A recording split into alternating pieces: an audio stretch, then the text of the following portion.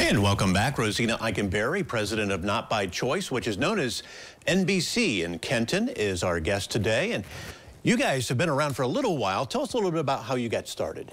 Um, Marcia Redder and Ron Redder um, co were co-CEOs. Um, they founded this, and um, they seen a need in not only Hardin County but the surrounding counties of just help with gas cards, and um, we have a food bank.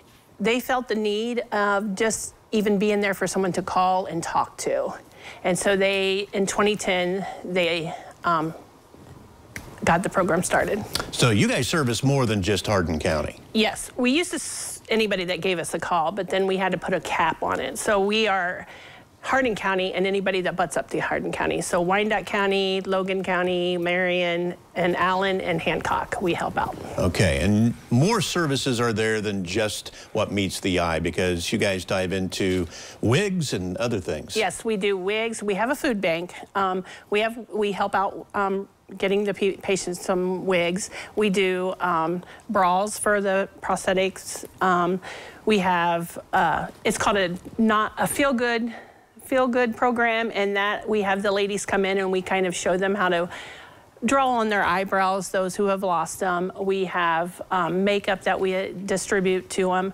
We also do a angel bag, which is, you, you yourself know, cancer's hit your family, um, that when you go, you're there for hours. And so the cancer bag has like gloves, hats, a blanket, um, uh, chapstick, just little things like that.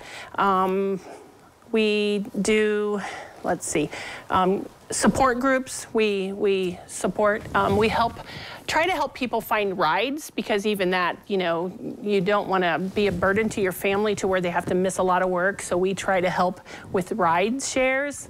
Um, Mm, yeah. Yeah, you guys have a, a, wide variety of things that you offer, and it was very uh, resourceful for my wife and I because she went through a double mastectomy uh, a year ago, and of course we had nowhere to turn, and you were one of the first places that I found online, and you guys were great because you walked us through the process, gave us the information we needed, even gave us a gas card to help us get to our first couple of appointments. It's great to know that you have someone who's been down that journey. Yes. Marcia, who was the co-founder, she herself went through cancer and so did Ron. We unfortunately lost both of them. Um, so we are run by, it's a nonprofit organization.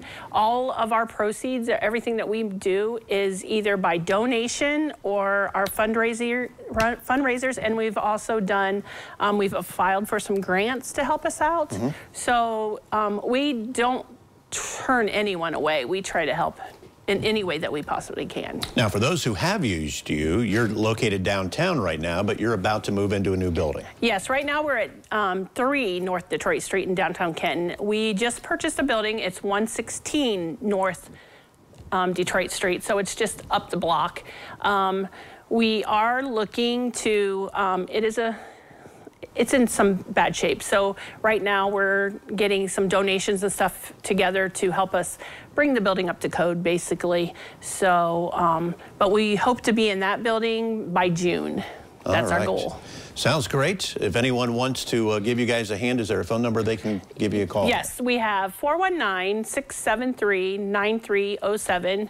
And um, we also Facebook. If you have Facebook, look up Not By Choice. Um, we have a lot of information there that can help out people. All right. Thank yes. you so much for being here today. Rozina Eikenbary of Not By Choice in Kenton. And Holly is in. She'll have a look at today's medical right after this.